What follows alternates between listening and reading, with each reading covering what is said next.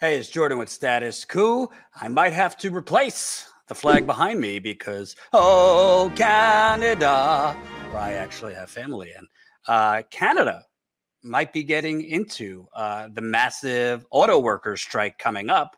Uh, more specifically, 18,000 Canadian workers that work for uh, the big three automakers. Uh, let me show you this because the timing really could not be better. Uh, Canada's Unifor joins UAW in authorizing Detroit three strikes. Uh, members of Unifor, the union representing auto workers in Canada, have voted to authorize strikes against Ford Motor Company, General Motors, and Stellantis if agreements on a new contract aren't reached next month. Uh, their strike authorization votes were even higher than in the United States uh, Unifor members voted nearly 99% in favor at Ford to go on strike, 99% at General Motors, and over 98%, more than 98% at Stellantis. Uh, Unifor's collective bargaining agreements with the automakers expire uh, at 11:59 September 18th. So basically, uh, they could be on strike September 19th, and uh, in America, the strikes would begin in September 15th. So you're talking uh, in the United States, 150,000 workers potentially on strike uh, in 16 days. And then uh, across the border, not far away, uh, an additional 18,000 just a few days after that. Uh, Canadian, quote, Canadian auto workers have sent a strong message to D3 automakers that they are united behind our bargaining committees in an effort to improve pensions, increase wages, and secure good union jobs in the electric vehicle future. Unifor President Lana Payne said in a statement Our bargaining team are set to resume negotiations with the unwavering support of Unifor members across the auto sector. Make no mistake, our union is fully prepared to take any and all necessary actions to achieve our collective bargaining objectives. And uh, by the way, Unifor uh, represents over 300,000 workers in Canada. So even though the auto industry end of it is about 18,000, uh, you would presume they'd be getting support from other uh, sectors uh, and U- Unifor uh, workers. And Canada, pretty much, you know, carbon copy of the United Corporations of America in terms of neoliberalism. Uh, obviously, big difference being, uh, you know, healthcare among other social benefits. But in terms of the economy, uh, massive inequality there, just like here, and workers being screwed, just like here. Uh, let's continue on. Uh, Canadian auto workers. Uh, oh, I just read that. Uh, the union, which started bargaining with the companies earlier this month, is resuming no negotiations after pausing to hold the strike authorization vote. Unifor represents about 18,000 workers at the Detroit auto companies. Uh, Unifor's strike authorization comes days after UAW uh, in America voting overwhelmingly uh, to go on strike if needed. Uh, a little bit more about uh, the Canadian end here. Uh, the Canadian operations of the Detroit Three are much smaller than their U.S. operations, obviously. Um, Unifor President Lana Payne noted that Ford's Windsor, Ontario engine plant, which her union represents, builds engines for some of the company's most profitable trucks. Unifor's choice could be a boost for Ford, giving the automaker an opportunity to tailor terms of the agreement to its advantage. Uh, that is in reference to uh, in Canada, uh, the Unifor uh, union might specifically target Ford in terms of its strike. Uh, you could kind of do it both ways. You most of the time they go after one uh, company and basically go one by one. Uh, so in 2019, uh, the UAW went on strike against GM. Now we're hearing uh, it's very likely that the strategy is to go on strike against all three Ford, GM, and Stellantis at one time in America. Uh, and in Canada, it seems, we don't know yet, that they might be only targeting Ford.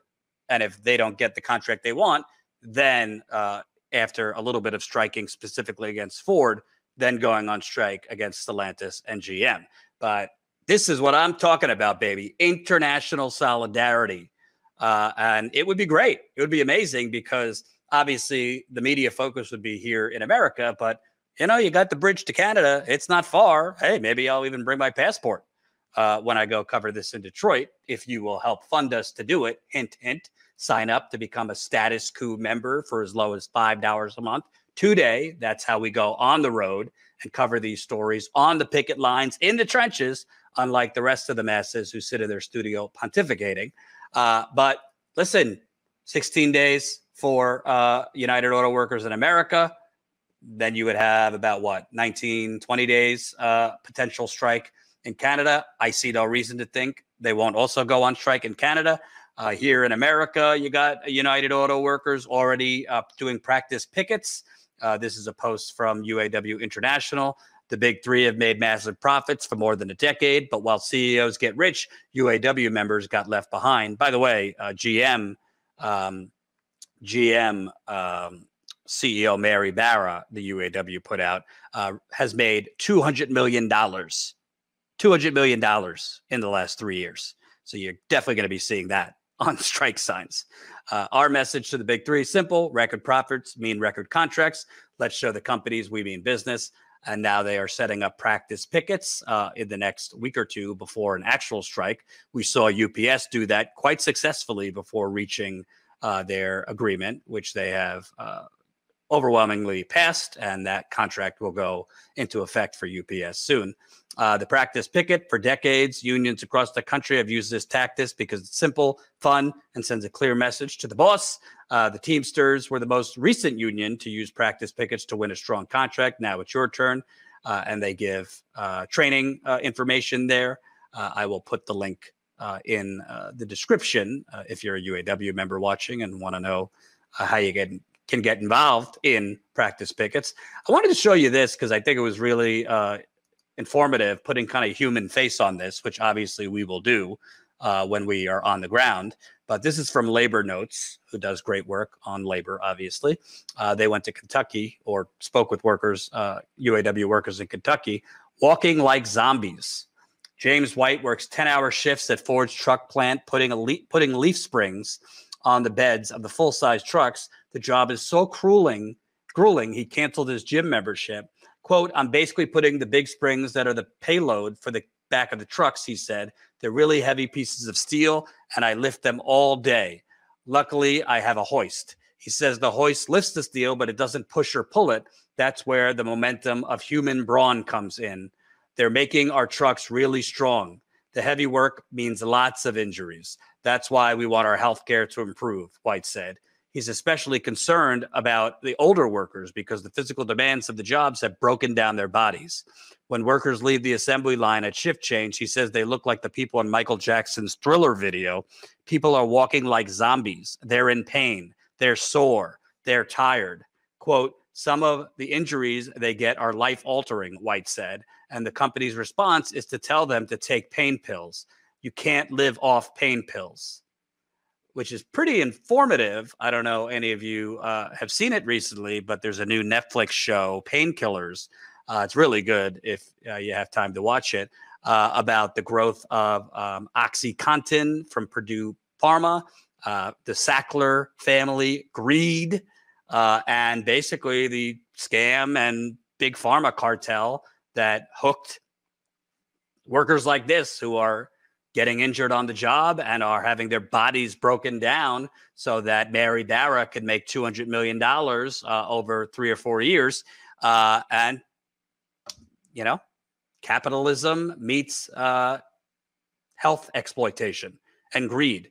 So break these bodies down so that uh, the CEOs, the executives, the shareholders can steal their money, uh, the fruits of their labor, and then get them hooked on pain pills to help the pharmaceutical industry. That's basically what's going on. Of course, not just the auto workers. You got Amazon workers, you know, workers uh, anywhere. It's grueling work uh, if you're dealing with your hands, heavy equipment, et cetera, et cetera, being on your feet, um, you know, 9, 10, 11, 12 hours a day, not to mention in so many of these areas, um, you know, hot conditions in warehouses. Just saw another headline about a UPS worker who tragically died on the job due to excessive heat. Uh, continuing from this uh, labor notes article, uh, workers say they've given up much over the years to help the auto companies make record profits. Uh, White says he isn't willing to give up so much of his time. He switched from night to day shifts to tuck his daughter in at night, but it's still not enough. Quote, I came in at 6 a.m. My kids get home from daycare about 6 p.m. If she's going to bed at 9, then I go off at 5 36 p.m. I feed her dinner, talk to her a little bit. That's not enough. I have three hours of daylight. Quote, we should have eight hours of work, eight hours of recreation, and eight hours of sleep. I can't tell you the last time I got eight hours of sleep. I average about four and a half hours.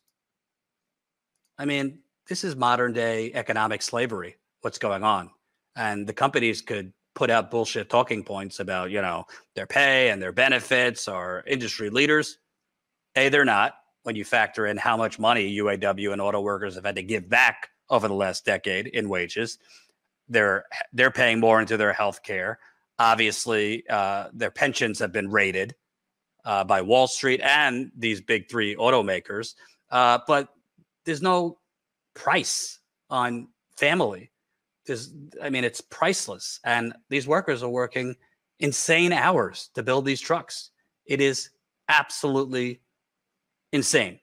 But when UAW President Shawn Fain demands the wages that they deserve, the wages that they have earned, the wages that are being stolen from them by the greedy CEOs and the shareholders and the stock buybacks and all that, let's remind you uh, what the media says about oh this scary communist communistic talk.